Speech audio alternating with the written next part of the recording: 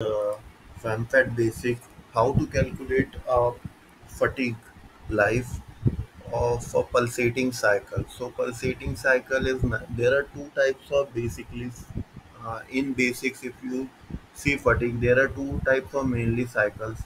Uh, one is alternating cycle and one is pulsating cycle. The alternating cycle means like S max and S min having some definite value like S max is suppose uh, 90 and S min is 60 but in pulsating fatigue the S mean is S mean will be zero in pulsating fatigue. So if the if it is a pulsating fatigue then your amplitude S mean is S mean minimum value of S is zero then amplitude stress will be S max minus 0 by 2 is equal to S max by 2 and mean will be S max by 2 because it is again uh, S mean is 0. So both mean and amplitude will be same in pulsating fatigue. So let's see. So I have solved one problem where I am restricting, I am constraining this face and I'm applying load here. So this is my displacement uh, contour animations looks like. So we'll use this one to obtain the uh, fatigue cycle. So firstly you need to go to basic. I'm using a femfat tool to calculate the fatigue. So firstly we will go to fe entities. I have chosen Abaqus inp as i i have given the run in Abaqus only. So file name i will choose this one this will have all the data basically the element and nodal data here. Then you can always count it like we I have thousand elements in the FE model in hypermesh and here also it is showing in thousand in FEMFAT. Then groups you can go and here it is all about like like how you can uh, basically if you have multiple uh, solids with mul- or cells or components basically with multiple uh, materials then it is a good to manage group. But here we have only one material that is steel. Uh, so I'm just using all here and uh, just doing this. We will see this in detail in later in some other videos. So stress data. Now coming to stress data there are two types of data types here amplitude oblique mean or upper oblique lower. I don't want to be in i don't want to calculate manually calculate amplitude or mean so i just will give upper and lower. And here format i am giving as Abaqus odb just select this file. And I am calculating the stresses at 100% of the load. If you don't want to add, uh, if you don't want to calculate at the 100% of the load, suppose you want to calculate at some other load like 20% of the load, you can always select this. Okay, so your stress will be according to 20% of load. But for the current scenario, I am using at 100% of the load so your stress will get pop up this is the maximum stress in this element. 1018 element.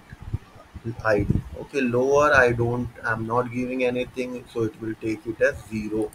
Okay material you can always import the materials. If you have the ffd files currently i don't have but i know the uh, e ultimate value.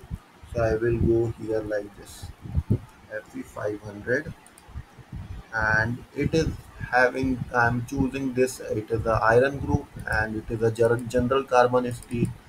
I know that this is having yield of 500 and sorry ultimate of ultimate strength of 500 and yield i don't know. So let FEMFAT uses empirical formula to this to determine yield pulsating and alternating and all other details. You can press ok. If you want to export this file you can export it and give it to your colleague. But currently i'm not doing that. I will use that in some other video. So if you want to know the stress strain curve you can always choose this.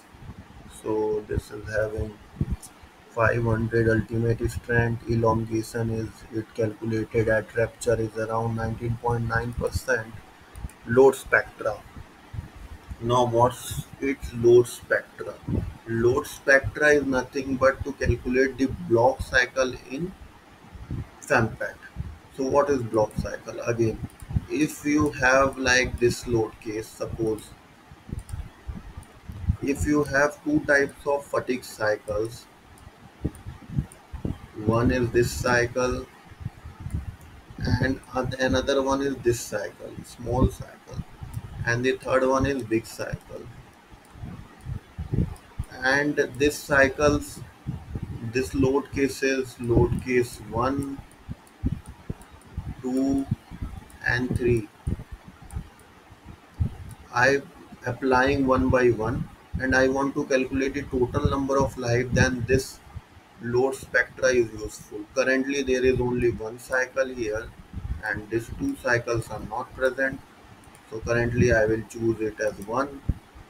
Sorry, I will new, make it as new and choose it as one and I don't need to edit anything amplitude or mean factor and I will proceed so now I need to here you need to assign the material to a separate component.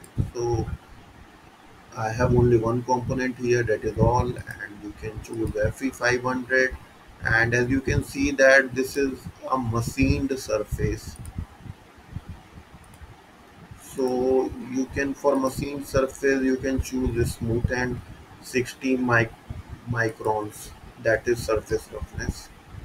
Influence factor you can choose surface roughness here tick mark the surface roughness. Other options we will visit later.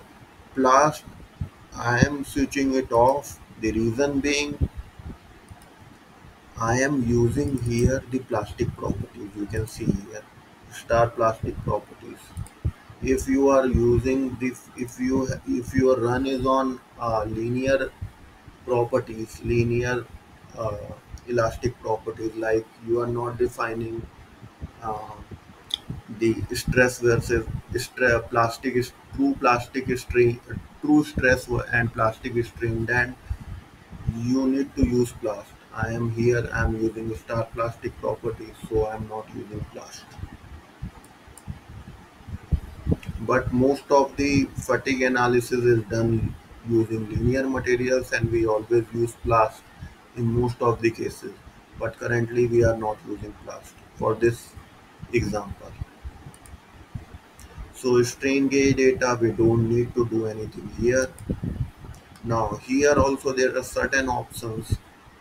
We are going definitely going deep dive uh, into this options in the upcoming videos. For current we don't need to do anything here.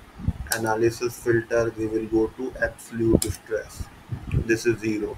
This relative stress and absolute stress means it is means if you put absolute stress limit here i'm using 0 0 here. That means whatever the stress limit above than 0 uh, it will always calculate the fatigue life.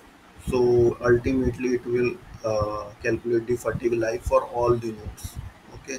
Cutting plane you don't need to uh, change anything here. Okay now. So output parameters. Now it is always useful to export the FEMFAT results to your own software. You can always use any preprocessor. So here I am using hyperview. So I will choose hypermesh result here. Okay? Or if you don't want to choose you can always use visualization to further proceed process your results. But I am more comfortable in hyperview so I will use that. Now go to analyze and uh, click on all and check input data. So check input data will again uh, see, show you what is there and what's not.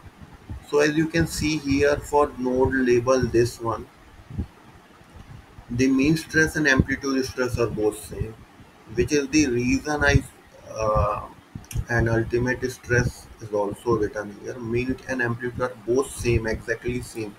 The reason being it is a pulsating fatigue and S mean we have defined as 0 so S max minus S max by 2 and S max by 2 both mean and amplitude will have S max by 2 okay so this check data is making sense now so we can proceed for analyze so I have analyzed it so it has calculated the the damage is this maximum damage is this and the the critical life is this okay? Again you can draw the S-N curve of various nodes here but we will see this in the upcoming videos. What i will do here is i will simply go to femfat and here i will just this dot .dma file contains our results of femfat in hyperview format so i will click on apply and this and load case one I need to select and results one I need to select and then go to plot results and plot it. So legend you need to reverse it because the minimum life I'm more interested in this will be in red. So suppose I put here one E4. So here the max stress region I'm getting the min life. So which is kind of correct. If you want to see the um, mean stress plot, mean stress you can apply it or amplitude stress plot you can apply it here. Amplitude stress and mean stress will also be same here. Okay. See damage you need to reverse the scale to see properly. Because fatigue life we are always more interested towards the fatigue life with less number of cycles. Okay? And stress we are more interested in higher stresses. Fatigue we are more interested in lesser fatigue cycles means that we should be your critical area and stress more stress is your critical area. So that is how you do the pulsating fatigue. Uh, yeah thank you